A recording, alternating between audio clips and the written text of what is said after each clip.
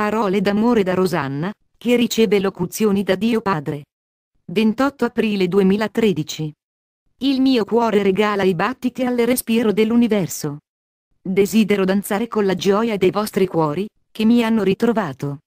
Io sono creatore della vostra gioia sopita nei vostri cuori, sepolta dai vostri affanni, dalle preoccupazioni, che vi schiacciano perché non vi affidate completamente a me.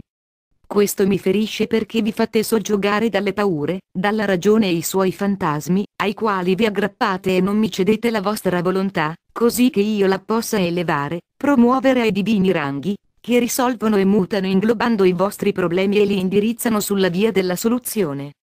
I miei figli, che hanno compreso il segreto della vita cristiana, spargono la loro sicurezza, che non è la sicurezza dell'avversario, che bleffa, ma è la sicurezza della giusta via intrapresa, densa di frutti di pace, di sapienza, di luce e conoscenza, di amore.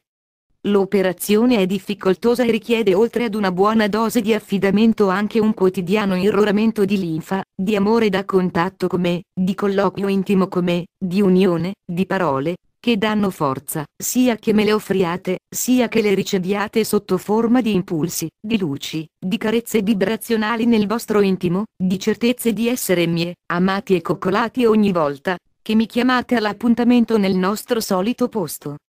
La vostra stanza interna anima, di cui già ho ampiamente chiarito e che voi ormai dovreste conoscere o almeno intuire, in questa stanza voi potete trovare molti pulsanti da scoprire che vi possono connettere alla mia realtà profonda, infinita, sconosciuta, ma pronta a donarsi per voi in piccole fiammelle, che perforano cuore e intelletto per aprirvi alla mia conoscenza.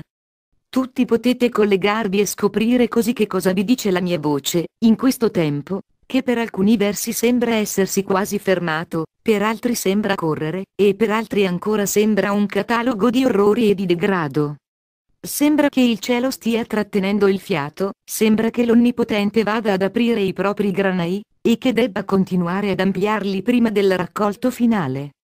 Sembra che a fronte di orrori si producano miracoli di luce, sembra che molti cuori comprendano finalmente l'amore, che placa le invidie, le sopraffazioni, e comincino a comprendere che il potere e il denaro sono crudeli esattori, e molti si guardano in giro attoniti senza ben comprendere che cosa stia succedendo, anche se la realtà prima è che è in atto una purificazione dolorosa delle anime con il pianeta.